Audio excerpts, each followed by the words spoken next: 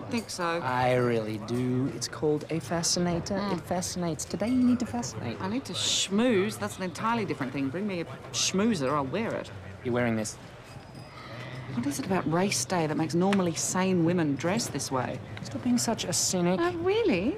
They squeeze themselves into dresses two sizes too small. They perch one of these on their heads. They get themselves plastered on cheap champagne. And they try to get laid by anything in pants. Don't look at me. I'm not about to question the well-established mating rituals of straight people. There you go. Expensive champagne. oh, very nice. I did not pay him to say that. You really like this? All you do is proud. Now, a quick toast before they start arriving. To cruising and schmoozing. Schmoozing. And generating loads of goodwill. To compose management. To compose. Hmm. And as a lot of the people who are out to impress are large women pretending they're Paris Hilton, it might be an idea not to mention your race day theory, or at least not quite so judgmentally. Duly noted. Hmm. You, by the way, have dressed just right.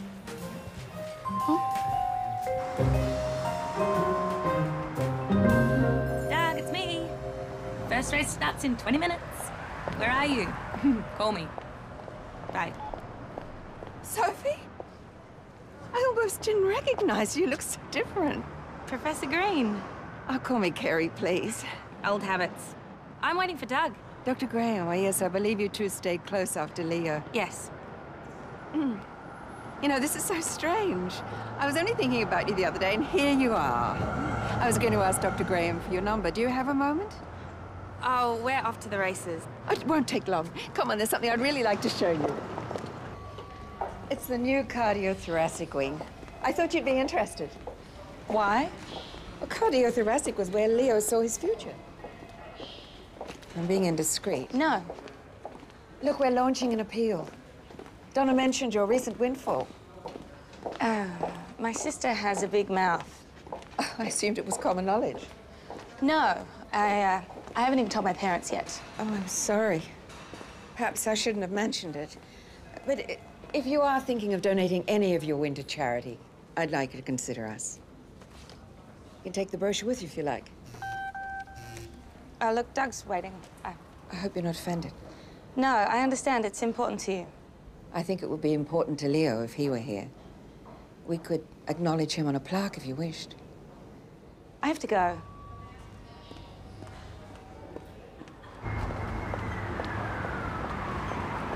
Thought you were waiting for me. I'm here now. What's that? Can we just go?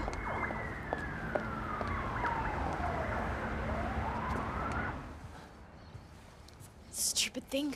Looks good from here. Oh, it's not a time for jokes. Who's joking? Your dad's here. Don't let him in. Too late. Uh, sorry, I'll, I'll just dump these and run. Oh, I thought control girdles went out with the ark. it's a bodysuit. Out. I'm going. Give us a hand.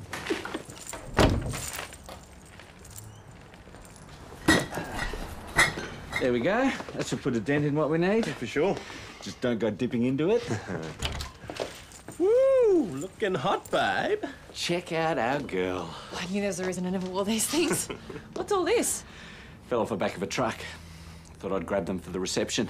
Oh, you don't have to do this, Dad. We told you. And I told you it was not negotiable. Besides, you know, I couldn't pass up a bargain like this. Well, thank you. My pleasure. How the plans going? Good. We've spoken to a celebrant. The deposit for the reception venue was paid yesterday. Next thing we've got to do is get the invites out. Oh, this stupid thing. I'll be back in a tick.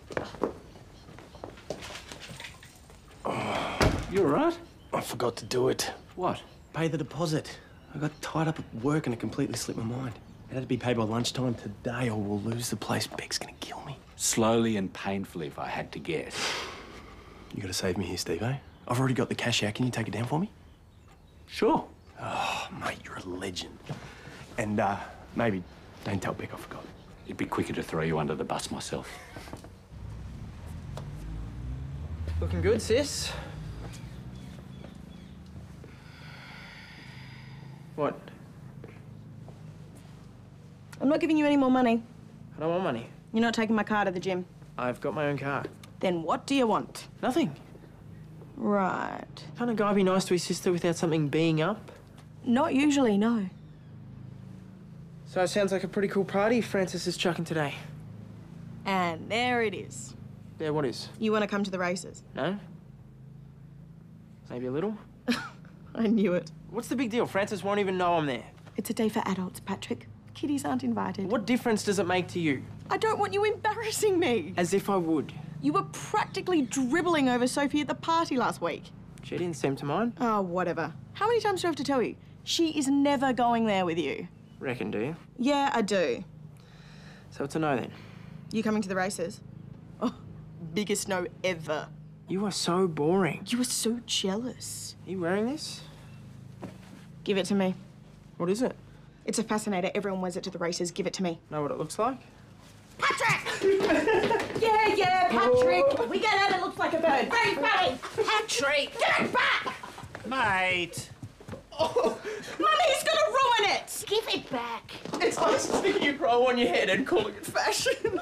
fuck! Fuck! Watch your tongue, young man. What? It's a bird call. I thought you were going to the gym. Oh, yeah? Then give the hat back and skedaddle. Oh. It's a fascinator. Look a treat, love. Yeah, it's amazing what a bit of cash can do for you. What's that supposed to mean? You wouldn't have worn that stuff before you had money. It's what everyone wears to the races, moron. I think it suits you. You were such a suck, Dad. And you'll get a clip over the ear if you're not careful. Go and put your hat on and let's see it. Fascinator. Not on you, it's not. Oh, Mum. Can't say you weren't warned. I'll get it.